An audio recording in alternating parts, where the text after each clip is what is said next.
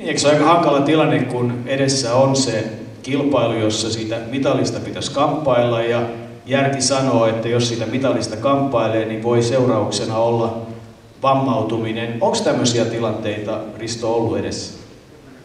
En, en näkkipäätä muista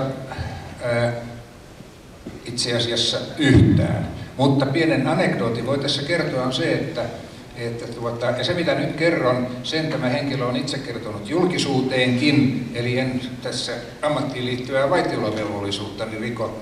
Nimittäin Pertti Karppinen otti minun yhteyttä sydämen rytmihäiriöiden vuoksi.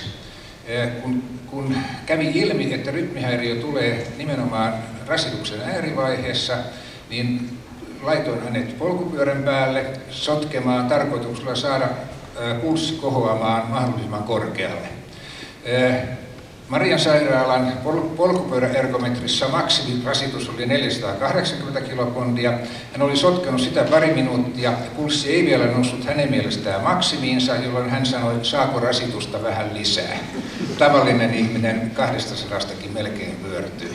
No, joka tapauksessa saimme provosoitua tämän rytmihäiriön esille ja, ja tuota, menemättä siihen sen pitemmälle, annettiin, anna, annoin hoitoohjeet ja muut vastaavat, kun sitten noin kolme viikon kuluttua ajoin töistä kotiin ja pysähdyin liikennevaloihin ja näin Iltasanomien lööpin, jossa luki Pertti Karppinen putosi rotkoon.